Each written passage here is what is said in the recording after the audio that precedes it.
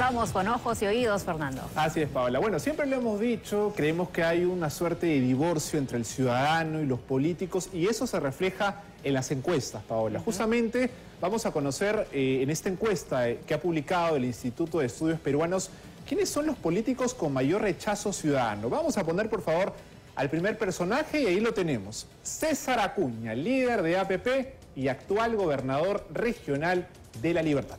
Así es, ¿no? Con un 74%. Así es. Solamente un 12% de la población lo apoya. Claro, la pregunta era, para que los televidentes Ajá. tengan eh, la idea, eh, ¿simpatiza usted con el siguiente personaje político? Y hay 74% no simpatiza, simpatiza. 12% sí y el 13% no lo conoce lo suficiente.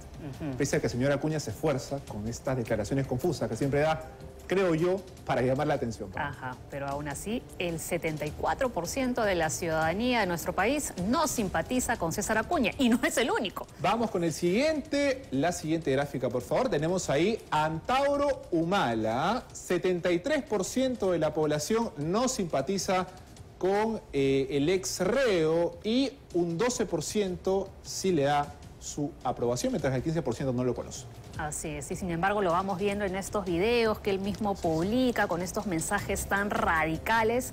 No nos sorprende que la población no quiera saber nada del señor Antauro Humala. El siguiente personaje, también bastante conocido, la señora Keiko Fujimori, lideresa de Fuerza Popular, con una bancada que se ha sostenido a lo largo de los años en el Congreso de la República, cuatro veces, tres veces, perdón, eh, Candidata a la presidencia. a la presidencia, pero la vemos también con un alto porcentaje de desaprobación. Así es, ¿no? El antifujimorismo, que se le dice. 72% de la población no simpatiza con Keiko Fujimori, solo un 20%, y el 7% de la ciudadanía no la conoce lo suficiente. Y vamos con el último personaje de esta encuesta, reiteramos, del Instituto de Estudios Peruanos, Rafael López Aliaga, el alcalde de Lima.